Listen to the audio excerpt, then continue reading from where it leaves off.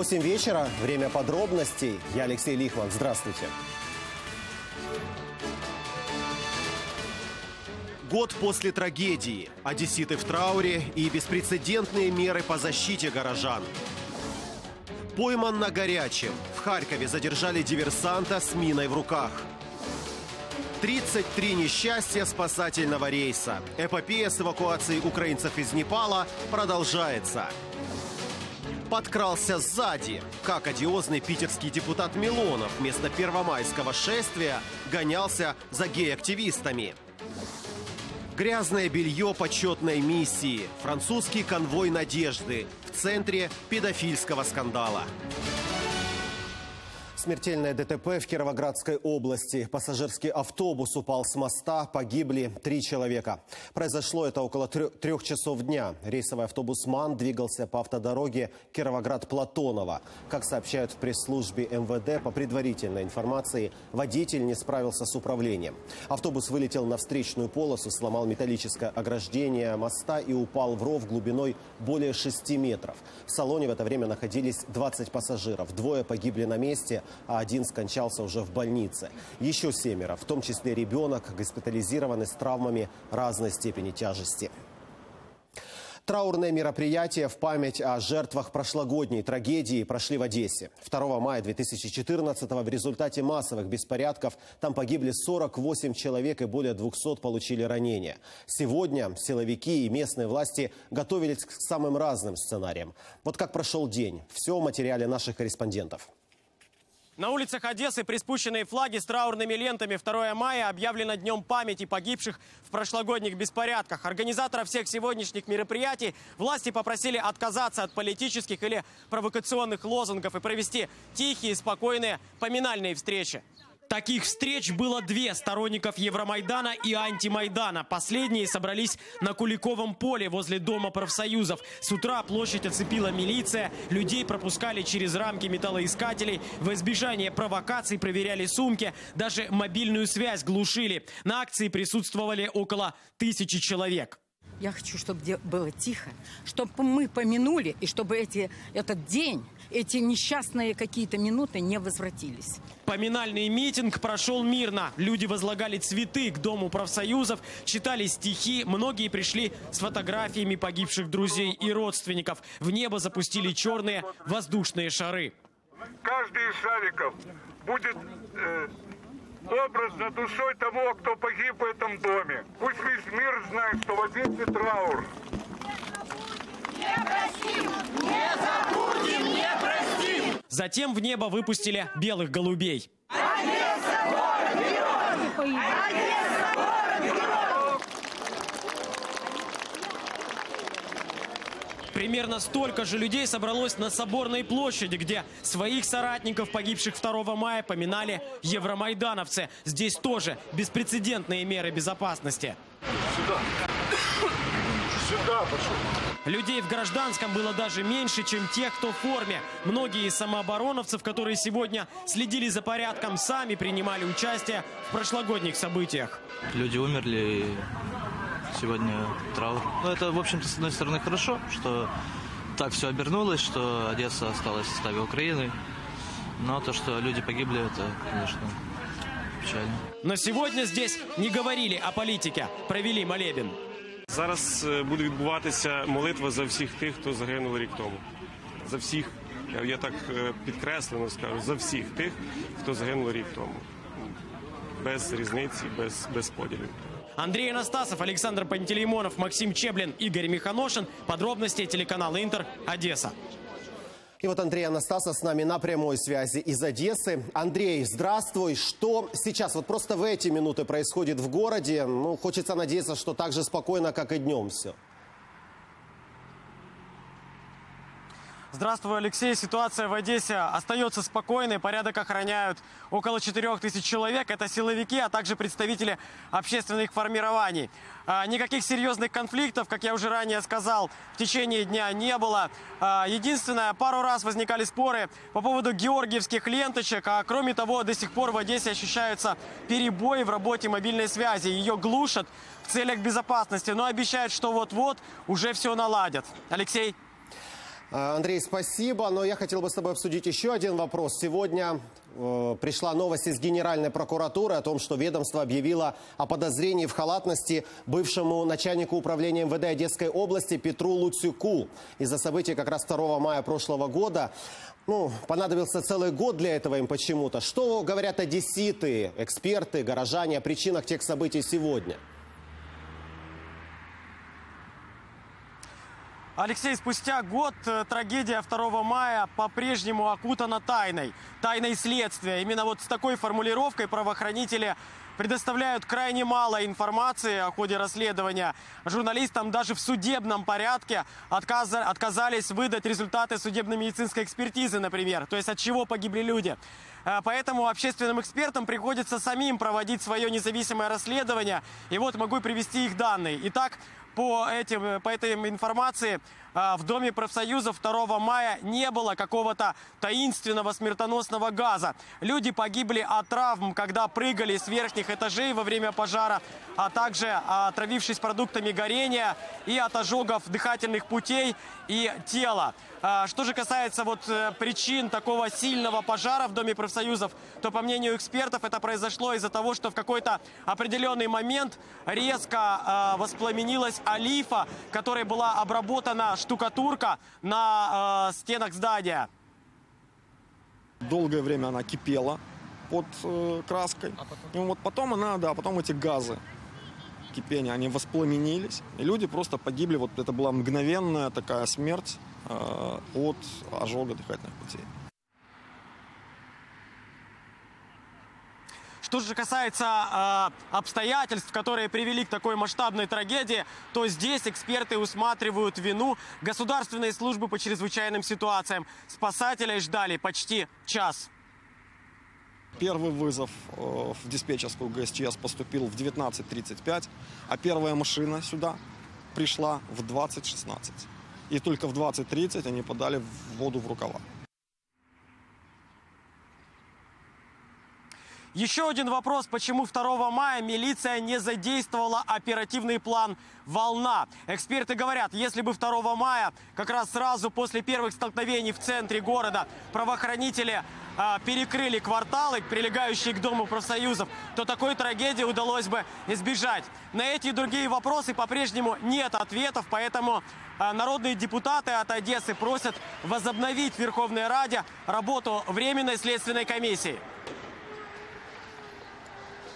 И для того, чтобы это не повторилось, должно быть проведено э, справедливое расследование. И мне кажется, что Верховная Рада для этого может сделать э, свой вклад. И меня очень удивляет, что депутаты из коалиции этого по каким-то причинам не хотят.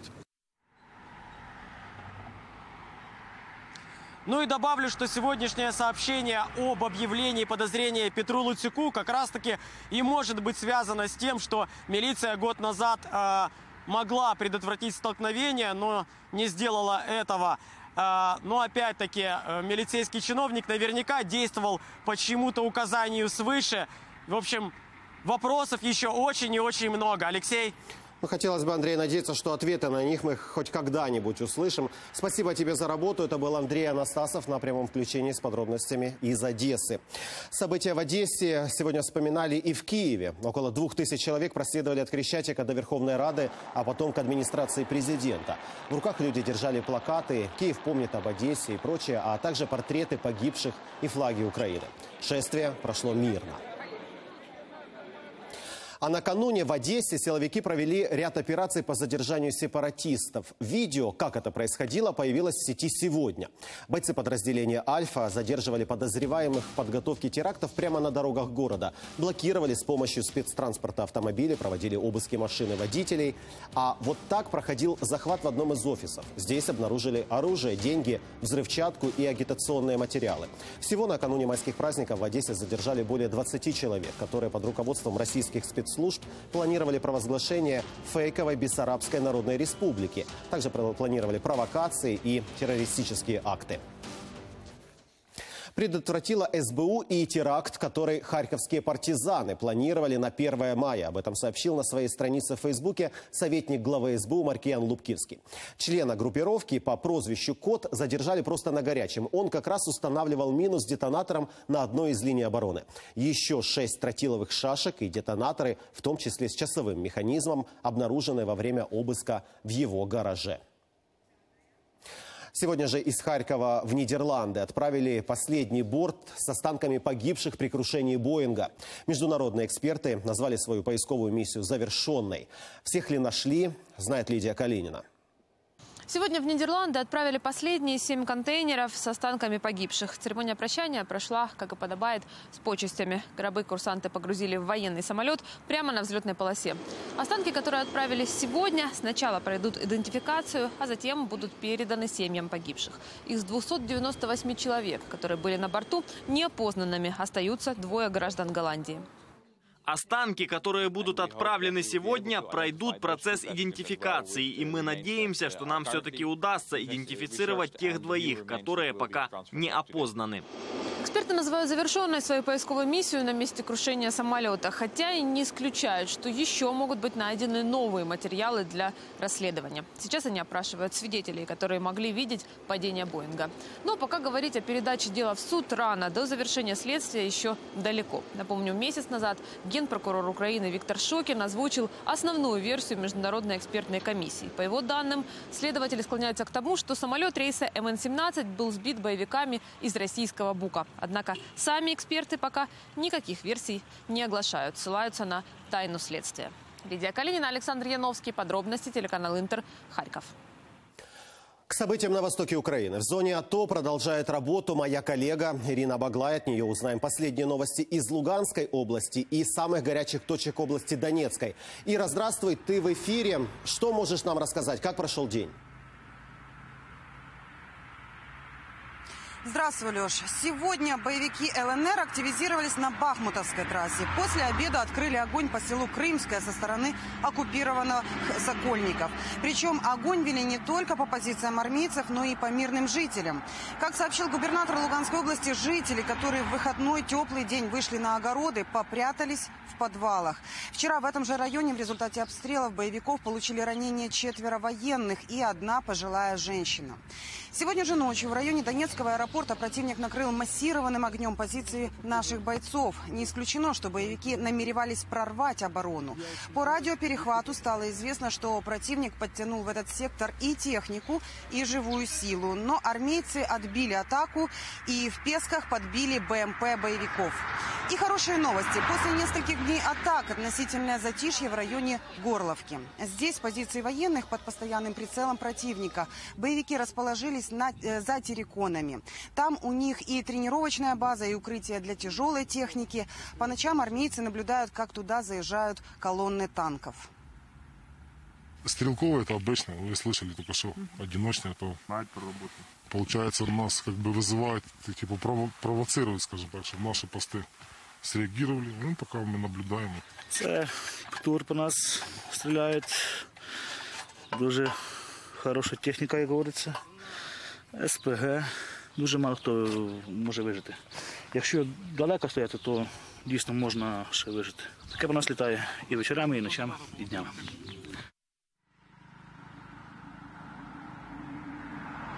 И без артиллерии, огня прикрытия от атак противника бойцов уберегают тепловизоры. Их прямо на передовую привозят волонтеры. Буквально на днях в одну из машин волонтеров попала противотанковая ракета. Чудом, говорят бойцы, никто не пострадал. Видимість тепловізора приблизно метрів, ну, якраз як вони підходять, метрів 300-400. Якщо б їх не було, то нам би прийшлося взагалі тільки по звуку орієнтуватись. Ну и еще то, что беспокоит бойцов э, на этой позиции. Последние месяцы они не получают зарплату или получают не в полном объеме, половину. Поэтому обращаются к министру обороны. Стараюсь не Не платять і не доплачують. Говорити всі годні. А от насчет грошей, туди хлопцям не вистачає на сирети. Далі просто не хочу перечислити іменно на що. Людей набрати набрали, а гроші платити, як говориться, не хочуть. И сегодня в Красногоровке под колесами военного краза погиб велосипедист. Мужчина скончался в карете скорой помощи. На место ДТП выехали представители военной службы правопорядка. В штабе заявили, что все виновные в смерти человека будут привлечены к ответственности. Леша. Все ясно. Спасибо тебе, Ирочка, за работу. Это была моя коллега Ирина Баглай с последними новостями из зоны АТО. Не прошли ленточный контроль. В Тбилиси российских байкеров заставили снять про кремлевскую символику. В интернете все больше обсуждают видео, на котором грузинские активисты принуждают россиян самостоятельно срезать украшавшие мотоциклы георгиевские ленты. Интересный факт. По данным местных СМИ, среди активистов был Ираклия Кантария. Это внук Мелитона Кантарии, водрузившего советский флаг над Рейхстагом. Немецкие политики все же посетят Россию, но только чтобы почтить память погибших во время Второй мировой войны. А вот на параде 9 мая в Москве делегации из Германии не будет. Министр иностранных дел Штанмайер посетит Волгоград и возложит цветы на военных кладбищах 7 числа, а Ангела Меркель прилетит на день в Москву 10 Вместе с Путиным возложит венки к могиле неизвестного солдата. Тем временем новыми скандалами обрастает празднование 1 мая в России. Новый хит в интернете. Выходка скандального питерского депутата Милонова. За кем гонялся, догнал ли, расскажет наш московский сапкор Данил Русаков. Видео, на котором питерский депутат Милонов заставляет полицейских найти автозак, теперь хит по количеству просмотров в интернете. Но скандальный политик, готовый костьми лечь за недопуск оппозиции на улице, так и не был услышан. Согласованное шествие продолжилось, народного избранника обступили сотрудники МВД. Кто-то из толпы даже решил подразнить внезапно появившегося незваного гостя.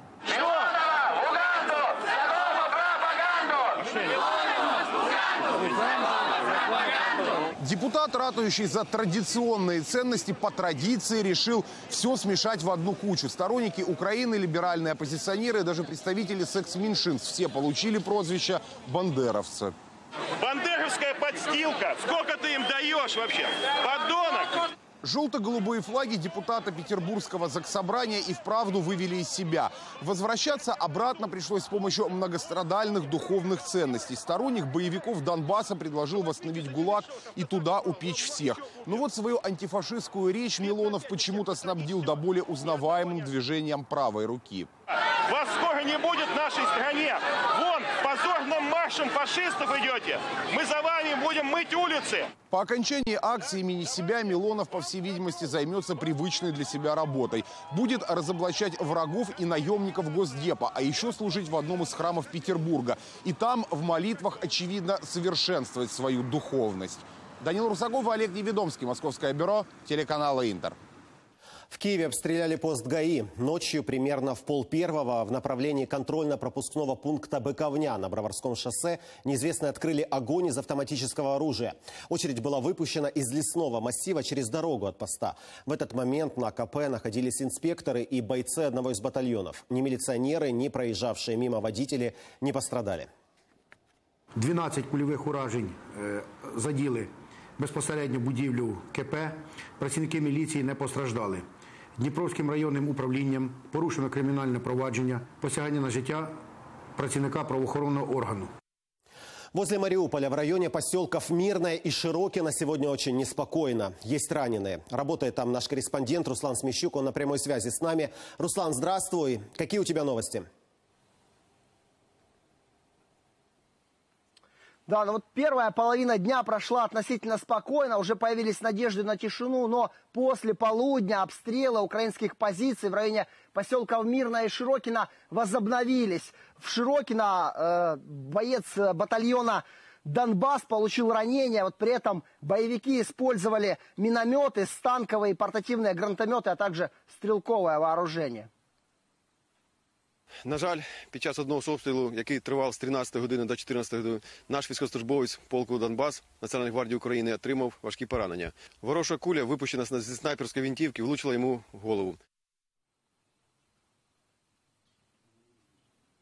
Бойцы батальона «Донбасс» накрыли позицию снайпера плотным огнем, ну а раненого эвакуировали и доставили в больницу. Врачи говорят, что шансы на выживание есть. И сегодня, вот сегодня же мы, что называется, пошагово наблюдали за работой военных медиков, как происходит эвакуация и как потом лечат раненых бойцов.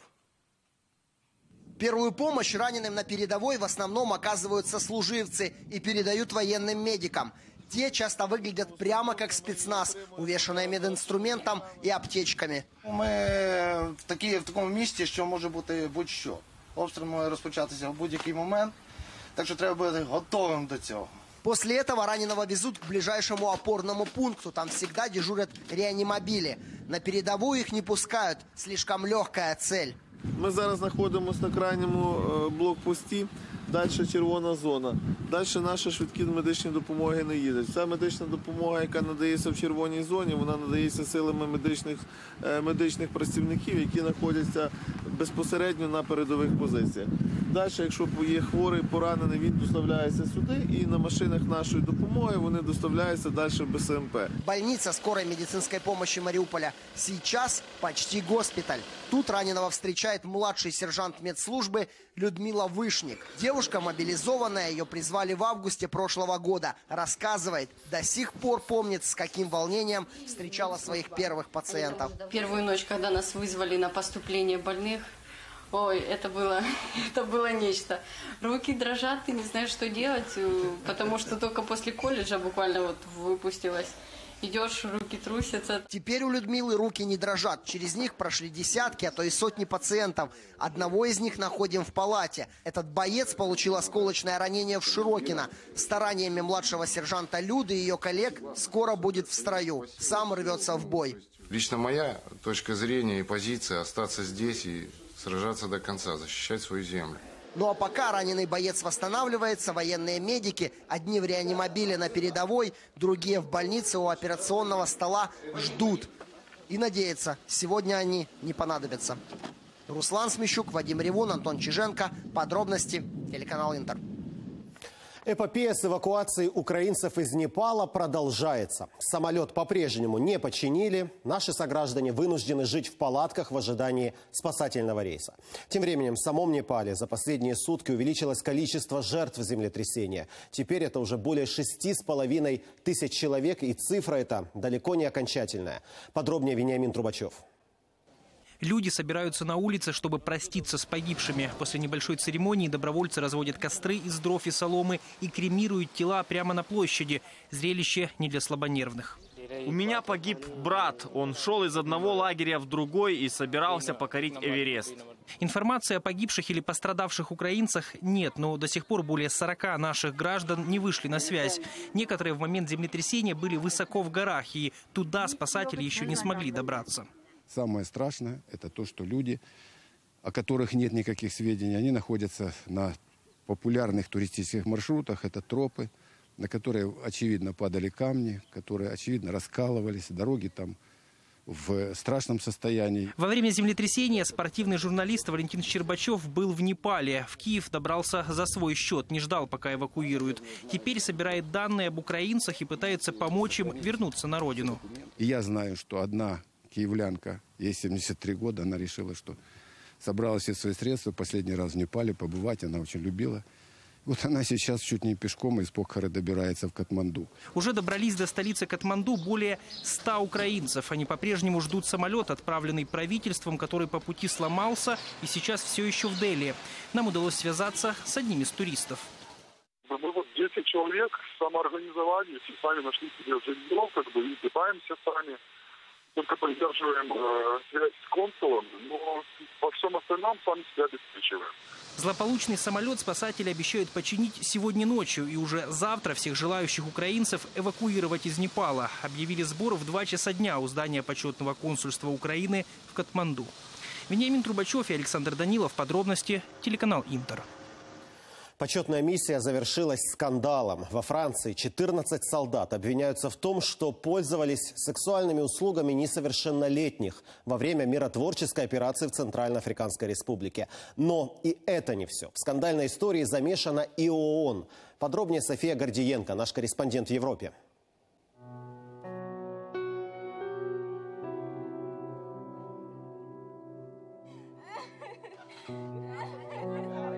Их называли конвоем надежды, людьми, которые несут мир в разрушенную хаосом и внутренними раздорами страну. Президент Центральноафриканской республики лично просил Францию помочь в борьбе со своими африканскими ЛНР и ДНР. Мы не чувствуем себя в безопасности и даже не знаем, что произойдет в следующую секунду. Но то тайное, что стало явным, чести французской армии не делает. Больше десяти мальчиков, младшему из которых 8 лет, признались, что в обмен на еду и деньги оказывали военным сексуальные услуги. Это было в 2013 году, рядом с аэропортом Бангуи, где находится лагерь для беженцев. Самое удивительное, что все эти факты передал французским властям чиновник из ООН, за что был тут же отправлен в принудительный отпуск. Мол, нечего выносить ссор из избы. Расследование такого толка – дело сугубо внутреннее. Французы все-таки следствие начали и наткнулись на препятствие. ООН на запрос Парижа почему-то 7 месяцев не могла предоставить имеющиеся свидетельства и документы. Возможно, секрет так бы и остался секретом, но кто-то слил историю прессе. Организация Объединенных Наций скандал комментирует более чем сдержанно. На официальном сайте о расследовании, результатах и выводах только упоминание. Следствие продолжается. Но в интересах потерпевших и свидетелей его детали не разглашаются. София Гордиенко, Василий Трушковский. Подробности Европейское бюро телеканала «Интер». В американском Балтиморе, наконец, предъявили обвинение полицейским, причастным к смерти темнокожего Фредди Грея в отделении полиции. Но как они снова оказались на воле, продолжит наш американский САПКОР Дмитрий Еловский. Всю неделю в Балтиморе, охваченном беспорядками, задерживали только митингующих и погромщиков. Но власти города, кажется, поняли, что от них ждут реального разбирательства гибели Грея. В итоге шестерым полицейским все-таки предъявили обвинение. Это те, кто вез темнокожего юношу в полицейский участок и те, кто имел с ним там дело. Напомню, парень умер через неделю после ареста от травм позвоночника, который он получил то ли во время задержания, то ли сразу после него. Вот одному полицейскому предъявили обвинение в убийстве, остальным по статье соучастия в убийстве или соучастие в нападении. На улицах Балтимора встретили эту новость ликованием.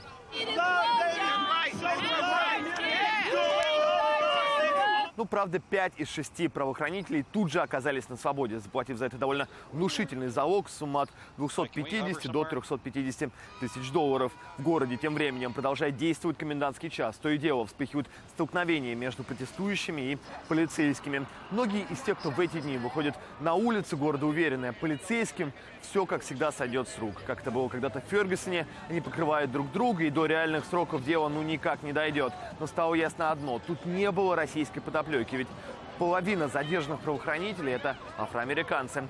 За судом в Балтиморе, конечно, будет следить вся Америка. Так что этот процесс покажет, существует ли в США произвол полиции. И правда ли то, что говорят в эти дни протестующие города Балтимора. Дмитрий Иловский, Никита Исайко. Подробности. Американское бюро, телеканал Интер. Кенгуру человеку друг. Доказано двухлетней девочкой в Австралии. Как железный Майк дает отпор любителям селфи и почему китайским госслужащим запретили маевки. Все в обзоре. Китайским госслужащим запретили выезжать на маевки, мол, уж очень часто посиделки на природе превращаются в пикники и попойки. Компартия Китая опубликовала список живописных мест, куда политикам ни ногой. Среди них, например, Великая Китайская стена и самый южный город страны, курорт Санья. Подтягивать дисциплину у бюрократов начали два года назад. Так в Поднебесной борются с незаконными привилегиями госслужащих. Осторожно, злой Тайсон. Скандальный боксер вновь попал в неловкую ситуацию. Железному Майку не понравился навязчивый фанат, который пытался сделать с ним селфи. Майк сначала оттолкнул мужчину, а потом и вовсе саданул его локтем. К счастью, любитель селфи не пострадал и даже сам посмеялся над неудачей. Дэвиду Бекхэму сегодня исполняется 40 лет. Знаменитый футболист отмечает юбилей на роскошной вилле в Марокко. Лично поздравили спортсмена и побывали на пиршестве Том Круз, он друг читы Бекхэмов, и британский режиссер Гай Ричи. Вилла в Маракеше для Дэвида и Виктории место особое. Там они обручились и отыграли вторую свадебную церемонию. Сегодня же Бекхэм зарегистрировался в Инстаграм. Всего за несколько часов его аккаунт собрал миллион подписчиков. Барт Симпсон увековечен в бронзе. Памятник мультяшному персонажу появился в Нью-Йорке. Симпсон-младший предстал в образе своего альтер-эго Бартмана. Автор произведения Нэнси Картрайт, актриса, которая озвучивает героя в мультсериале. Она же и презентовала скульптуру. На работу ушло около 20 часов. Идея пришла автору после того, как она увидела памятник Гомеру Симпсону в Лос-Анджелесе.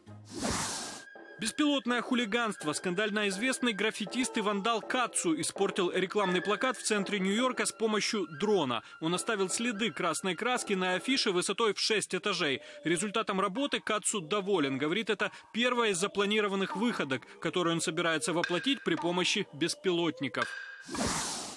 В австралийском заповеднике кенгуру подружился с двухлетней девочкой. Обычно сумчатые не терпят вмешательства в личную жизнь и даже могут дать отпор, нанести несколько ударов лапами. Перед ребенком кенгуру не устоял, дал себя обнять и послушно выдержал общение с малышкой. Боже, храни королеву и ее внучку. В монаршей семье Великобритании появилась маленькая принцесса. С подробностями из британской столицы Светлана Чернецкая. Ее высочество – принцесса Кембриджская. У нее еще нет имени, но уже есть высокий титул. Второй ребенок принца Уильяма и герцогини Кейт родился сегодня утром. Всего через два часа после прибытия роженицы в больницу Сент-Мэри. Кстати, здесь же, в частном крыле госпиталя, появились на свет первенец пары Джордж и сам принц Уильям.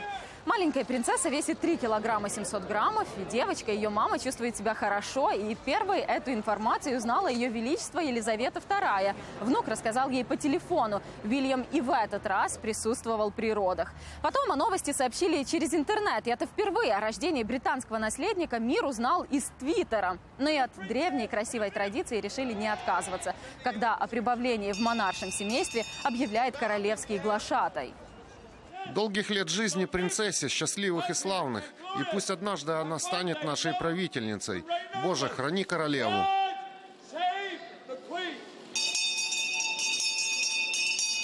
Дальше официальные сообщения о рождении нового наследника трона везут в Букингемский дворец. Здесь его выставляют на позолоченной фигурной подставке ровно на сутки. И этот документ сегодня привлекает сотни, если не тысячи подданных и туристов, которым посчастливилось быть в Лондоне в этот день. У нас в Германии это тоже большая новость. Я приеду домой и расскажу всем, что попало в этот день под Букингемский дворец. Очень волнующий момент. Под восторженные крики публики новорожденную сестричку уже навестил старший брат. Принц Уильям специально поехал за ним домой и привез в госпиталь. Малышку уже нарекли запасной наследницей трона. Действительно, шансов стать королевой у нее мало. Она четвертая в списке. После дедушки принца Чарльза, отца Уильяма и брата Джорджа. Еще ее потеснят дети старшего брата. Так же, как она потеснила принца Гарри, который сейчас пятый в линии престола наследников. С рождением девочки королевская лихорадка в стране не заканчивается. Теперь все гадают, какое имя получит малышка. Среди фаворитов Элис, Шарлотта, Виктория, Елизавета и Диана. Принцу Джорджу имя выбирали два дня. Кстати, его обязательно согласовывают с королевой. Скорее всего, до наступления темноты семья покинет госпиталь. В прошлый раз Кейт торопилась побыстрее оказаться дома в Кенсингтонском дворце. Светлана Чернецкая, Валентин Белич. Подробности. Британское бюро телеканала «Интер». Это буквально только что маленькую принцессу увидел весь мир. Зрители подробностей не станут исключением. Вот эти кадры. Принц Уильям с супругой вышли из госпиталя Сент-Мэри с новорожденной в руках. Оттуда уже отправились в свою официальную резиденцию Кенсингтонский дворец. Ну что ж, такой была эта суббота. Чем запомнится воскресенье, с удовольствием расскажу вам завтра в 20.00. До встречи в подробностях.